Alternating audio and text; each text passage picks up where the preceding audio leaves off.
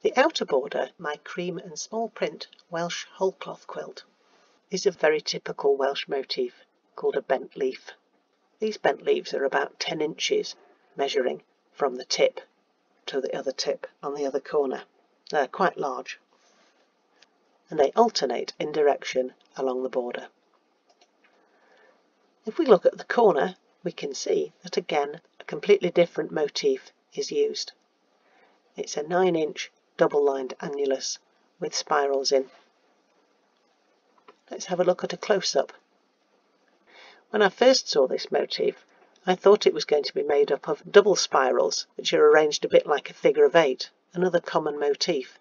But in fact, these are not. They're all single spirals that are stitched separately.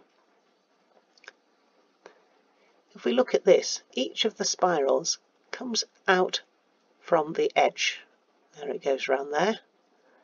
And then the next one also comes from the outer edge. And that one too. And then at the centre of the ring, we have a fine diagonal grid filling.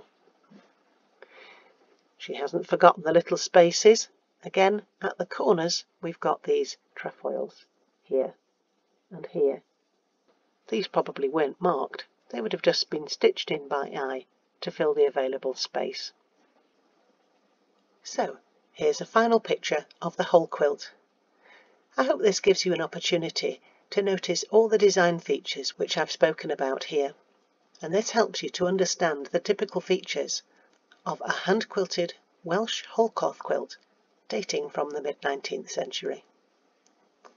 If you'd like to discover more about the quilts in my collection, there are quite a few on my website illustrated with plenty of photographs and I'm gradually releasing more of these videos so that you can increase your knowledge and your enjoyment of these beautiful creations. Thank you.